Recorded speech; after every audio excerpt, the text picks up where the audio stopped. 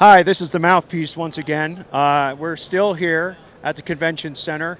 I want to let everybody know that uh, free beer starts at 1 p.m. The guys I'm working with were a little surprised when I showed up at 1:20, but there was kind of a line for the free beer. So uh, anyway, what we're featuring here is a speaker by a company called Acoustique Quality.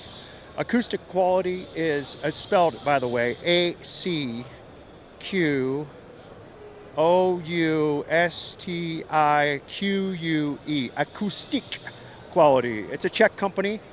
Uh, one of the guys who works with the company is a wood broker, so they do some really amazing cabinetry work. And uh, if you look at this, this is actually true bent wood, like a Thonet chair, like a lot of the mid-century modern stuff that people love.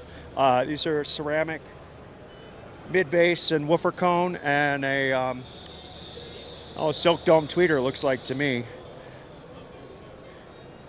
And They've got a number of models in the range. Uh, as you move up in the range, this is the new Kanto 5 here.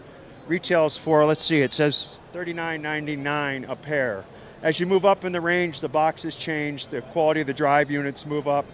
They are solid. These are $9,000 for the pair called the Passion Teen. And this one over here, which is very strange looking, is called a Passion Orca. Uh, Orca, you can order this in a black and white finish, black on top, high gloss black, and high gloss white on the bottom. Looks just like Shamu.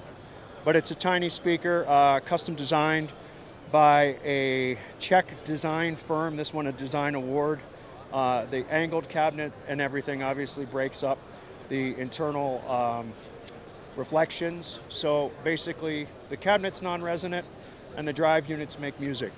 Uh, again, you could check them out at acousticquality.com or look at J&B Distribution. We're the distributor for them here in America. So once again, free beer starts at 1 p.m.